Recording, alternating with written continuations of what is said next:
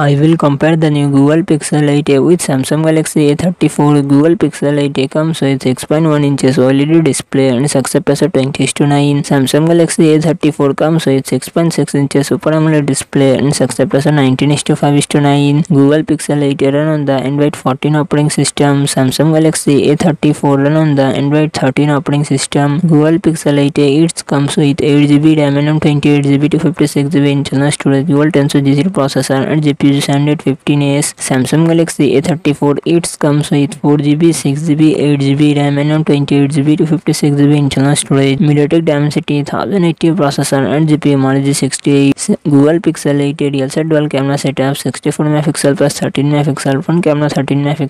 Samsung Galaxy A34 real set triple camera setup, 48MP plus 8MP plus 5MP front camera, 13MP. Google Pixel 8 a 4492mAh battery, 30W fast charging support Samsung Galaxy A34 5000 mAh battery 25 watt fast charging support